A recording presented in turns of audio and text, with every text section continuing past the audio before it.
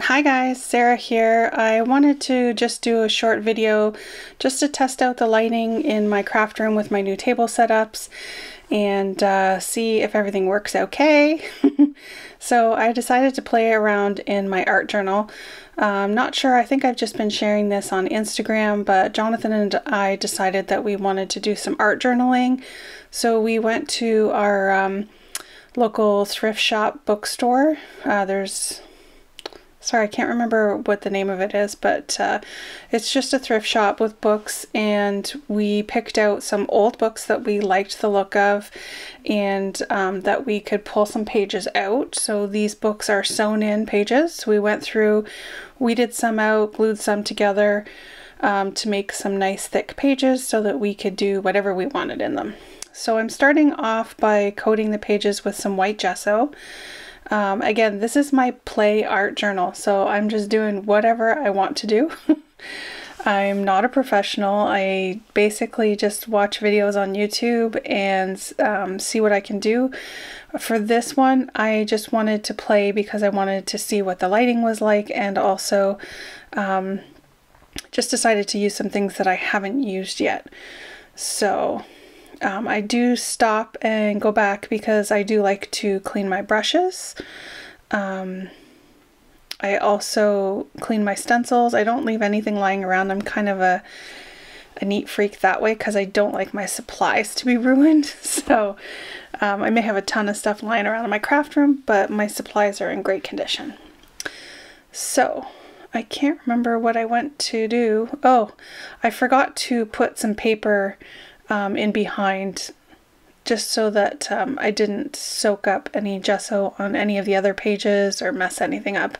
Because there are a couple pages before that that I had already worked on uh, quite a while ago. I do love this book though, it does have really nice thick paper and when you go over it with the gesso you can see the indentations from the print so you're not totally covering the print up it's still there. And then whatever you whatever medium you use it's it it still shows those letters. So it's very cool. All right so I think this is about it for the gesso and then I go off to clean my brush and I'll be right back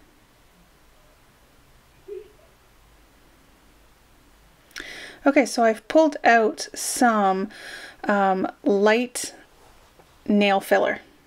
so obviously I just finished my craft room and I purchased this brand new container from Walmart to fill the holes in my walls and decided to leave it in my craft room because it works awesome as a texture paste. So um, uh, the stencil that is there is a Gina Marie Designs. They don't have names. Um, I picked them up at Novi Mega Meet when I bought a whole bunch of stencils from her. So, and I'm just using one of my palettes there to pull the uh, basically drywall filler through the stencil. It gives a really great texture though because it's really nice and light and airy. And you'll be able to see it later on.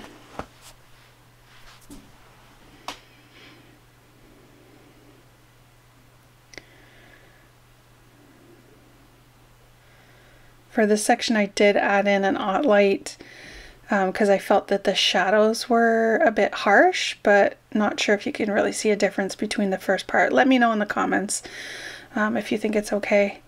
Again, I'm, I'm not a professional photographer either. I just do this for fun. I have a day job.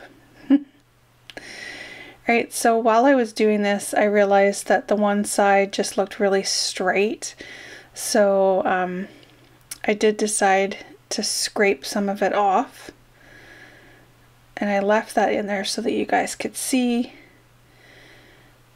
Because it was still wet, I just scraped it down a bit because I didn't want it to be just a straight line right across.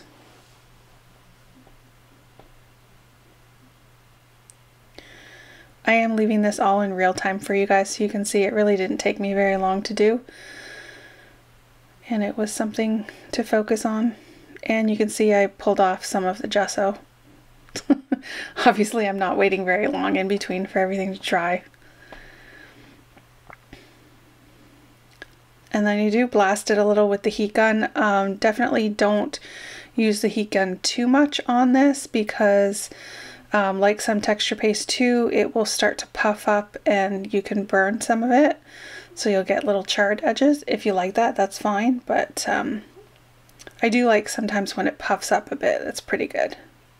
And I also just pulled along the edges, just I didn't want any little pieces of the wall filler sticking out.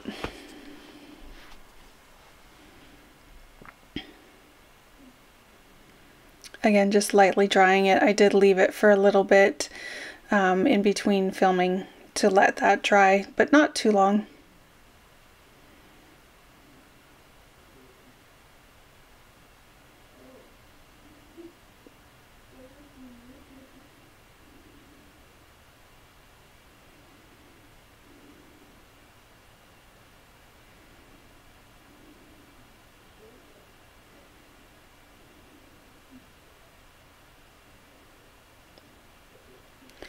Okay, so the next thing that we're going to do is add in some color.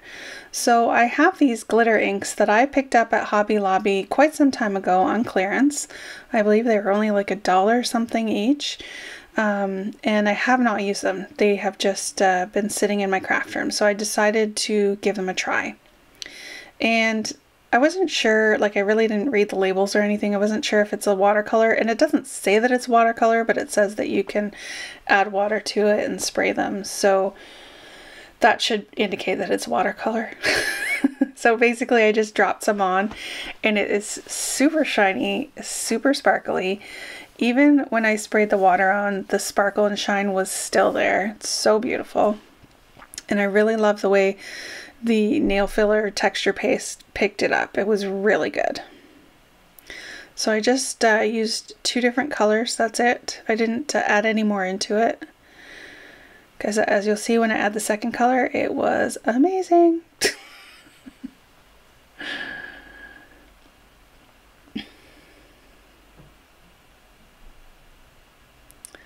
I did also have my little handy helper Jonathan. He ran to fill up my water bottle for me because it was uh, getting a little low and getting hard to squeeze out. So he also grabbed me some paper towel. oh, you can see I just did way too much there. But it is so pretty.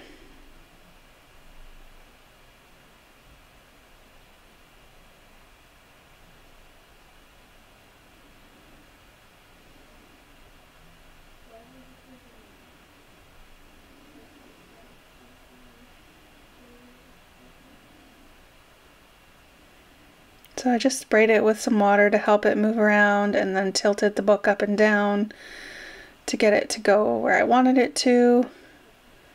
Also used the paper towel to soak up on the edges. And I did spray it a little while it was standing up too to get it to moving a little bit more. Very messy, but very fun.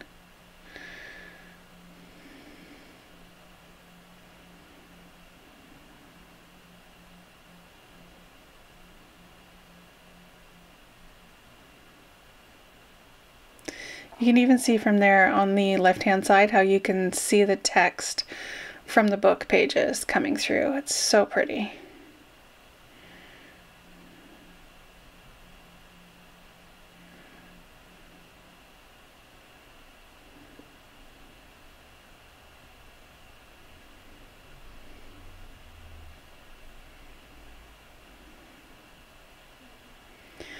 So basically I just kept adding some water to help move it around a little bit more and lighten up the colors and just soaking off the pooling on the edges because I didn't want that pooling to be there.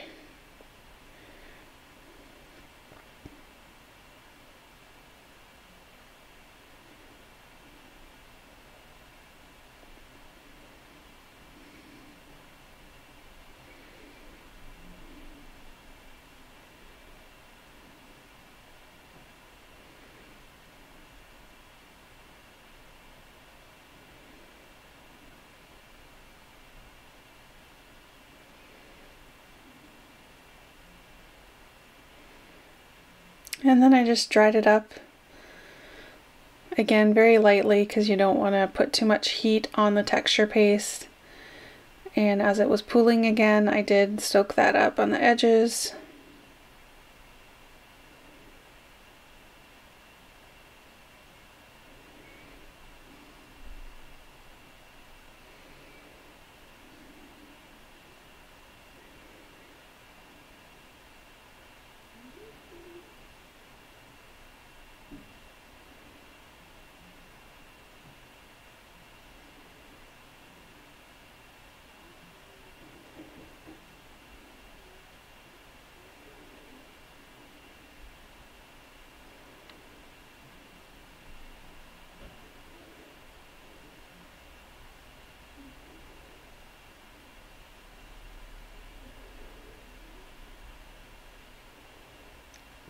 Feel like I should add some music in here, but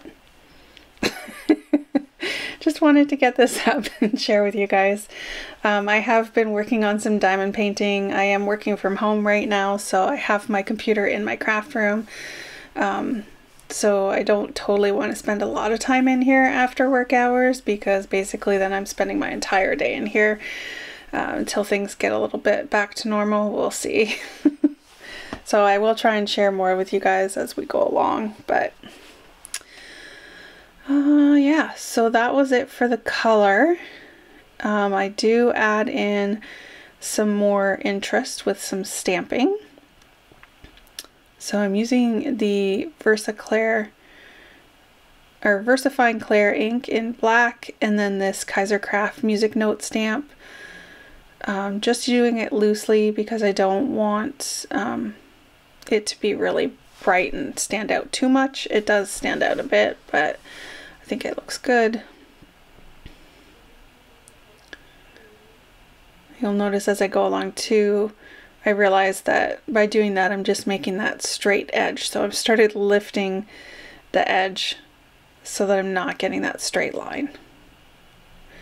I just added in here and there. I didn't really want to add anything else after that um, to the background, so I just left it as is. But the cleaning person in me needed to clean her stamp. I don't know about you, but I like my stamps clean. I cannot leave them. Um, and I didn't have my stamp scrubber there, so I just grabbed a baby wipe. And then I realized I did have the new Picket Fence um, stamp cleaner. The stamp scrubber. I just picked that up at scrapbook.com.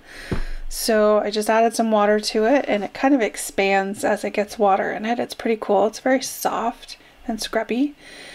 Um, and I just rubbed it on there. It more than likely was already clean from the baby wipe, but just to get uh, those baby wipes that I have right now are a little soapy. So just to get some of that off. And then just laid that to the side. Now to finish it off, um, I just went through a bucket of pre-stamped and colored images that I have. So I have a lot of them because I do like to just sit and color stamped images. So I had one of the Tim Holtz Crazy Birds um, all colored up and one of the sentiments also. So I had pulled out my Mod Podge to put it down and I knew as I was doing this that it was a bad idea. So this is what not to do on your, your art journal pages when you've used watercolor or anything water-based. Um, the Mod Podge will move that around on your page. So I knew it was going to happen, but it's just a modeled color in the background anyway, so I thought I would go ahead and give it a try. And it actually didn't turn out too bad. Um, so I got the images glued down as much as I could. And I did keep brushing over to keep the color from setting on top of it. Um, and then I did pour a little bit out because I didn't want to put that color back into my brand new bottle of Mod Podge. So um, you'll notice after I just start wiping it on the side on my craft mat to get the color off before I dip the brush back in the Mod Podge. So I start off with the actual stamped images first. And if anything, that actually just adds some color to the white background that was on that stamped image, um, which really makes it blend more into the pages. So you'll see after this part, I probably should have zoomed in so you guys could get a closer look at what I was actually doing to it.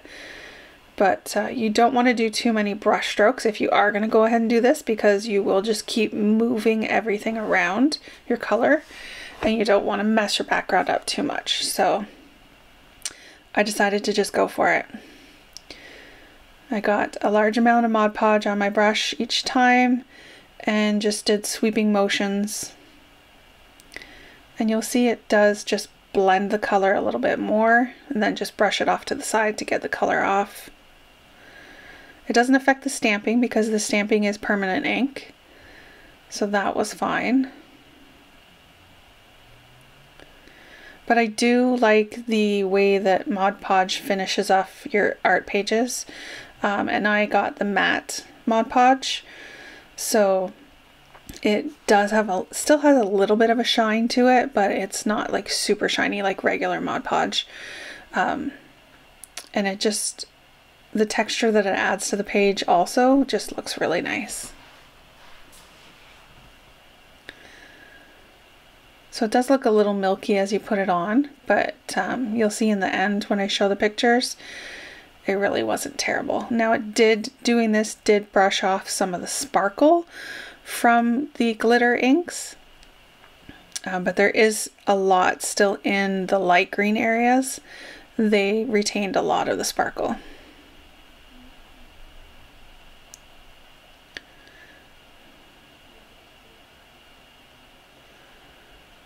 So that's pretty much it. Uh, you will see a close-up and I just have some closing comments for you.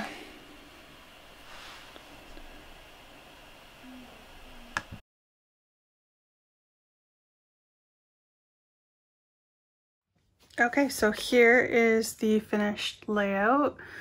Um, you can, I can't see the glitter, so I don't know if you can still see it. It's not as much like I would say in the dark turquoise color, you can't see the glitter, but like up here in the green, um, you can see it and down in here. Um, yeah, so, I don't know. Again, it's just me playing around. Um, this is just my book to try things out in and see how things work and and play. That's the first time I used those um, colors, the glitter inks. So yeah, hope you enjoyed. Leave a comment, subscribe, and have a great day. Thanks. Bye.